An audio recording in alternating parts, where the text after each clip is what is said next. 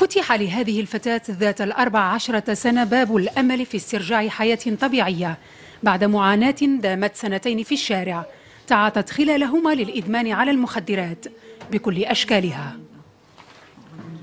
في الأول عطاوني قرو من بعد عطاوني الهيروين ومن بعد ملي وما مشاو بحالهم لقيت أنا كنقلب كيفاش نعمل نشري باش ندبر فلوس كنعملو أي حاجة كنسعاو كنسرقو زدت لهنايا حيت أنا صافي ما بقاتش كتعجبني الزنقة. صافي خصني أنا تكون عندي الدار تكون عندي العائلة وكون كنقرا. هاد التلميذة برهنت على أن هي قادرة انها هي تتخلى على هادشي هذا كامل وتعود إلى الحياة الطبيعية وهي خير نموذج هاد الناس اللي في الشارع. ورجعت للمدرسة.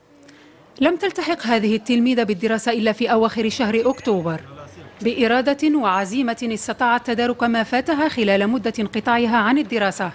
هي اليوم تتقدم ركب النجاح مقارنة مع فتيات أخريات عشن حياة طبيعية. أنت بدأت كتنسجم معنا وبدأت كتعرف المخاطر ديال المخدرات والدور ديالنا هو التوعية التوعية ديالها والإدماج ديالها مع مع الأطفال اللي هما في السن ديالها. العزيمة والإرادة القوية. كانتا سلاحا لهذه الطفلة.